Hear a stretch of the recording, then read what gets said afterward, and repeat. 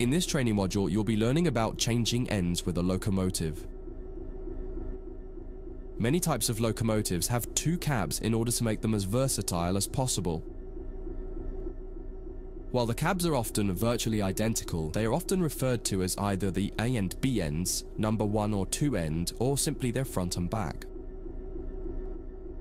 Usually the designation of the cab is written somewhere in the cab. In the case of the Class 66, it's above the window on the right hand side. In this case, you can see you're in the number 1 cab. All the junctions will be set for you in this module, you'll just be focusing on the locomotive. First, get the train moving forwards and drive over to the indicated stop marker and come to a stop in the platform somewhere.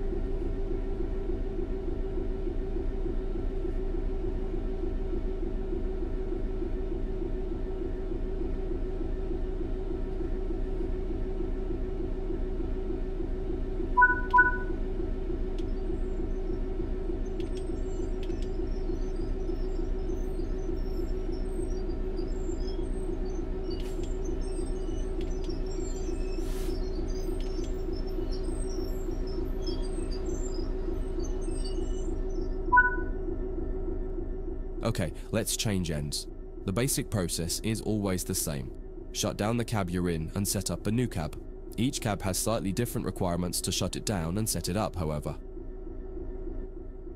Start by setting the reverser back to neutral.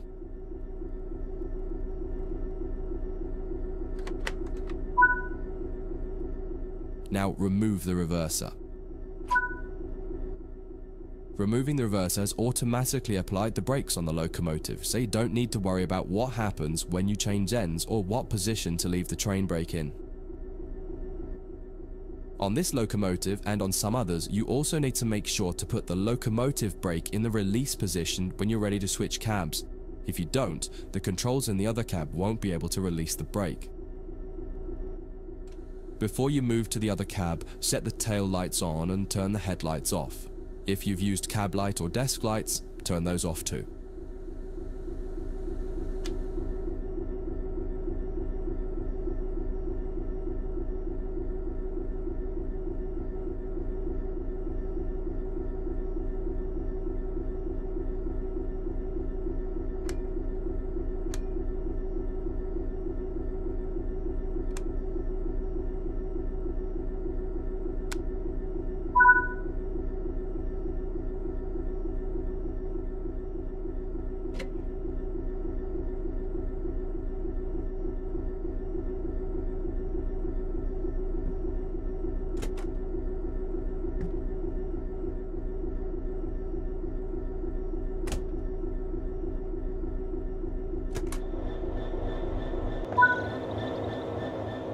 Head to the other cab.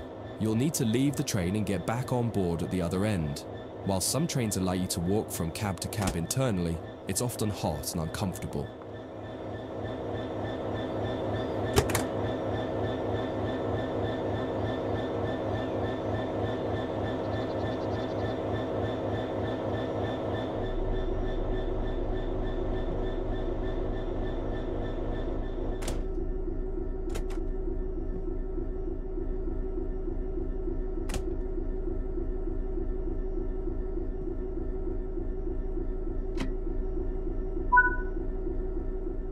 Notice that this end shows that you're in camp number 2 with the writing above the right hand window.